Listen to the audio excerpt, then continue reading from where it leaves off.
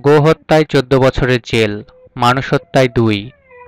একটি গরু হত্যা করলে ওই হত্যাকারীকে পাঁচ থেকে চোদ্দ বছর পর্যন্ত সাজা দেন ভারতের আদালত। কিন্তু বেপরোয়া গাড়ি চালিয়ে মানুষ হত্যার সাজা মাত্র দুই বছর।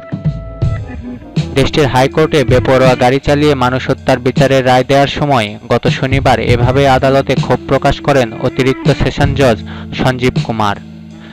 রোববার হিন্দুস্তান টাইমসের প্রতিবেদনে বলা হয়, দুই হাজার আট সালে হরিয়ানায় এক শিল্পপতির ছেলে বেপরোয়া গাড়ি চালানোয় এক মোটরসাইকেল আরোহীর মৃত্যু হয়।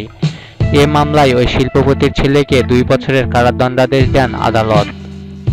প্রতিবেদনে বলা হয়, দুই হাজার আট সালে উস্তাব ভাসিন নামে তিরিশ বছর বয়সী ওই তরুণ বেপরোয়া গাড়ি চালিয়ে একটি মোটরসাইকেলকে ধাক্কা দেন।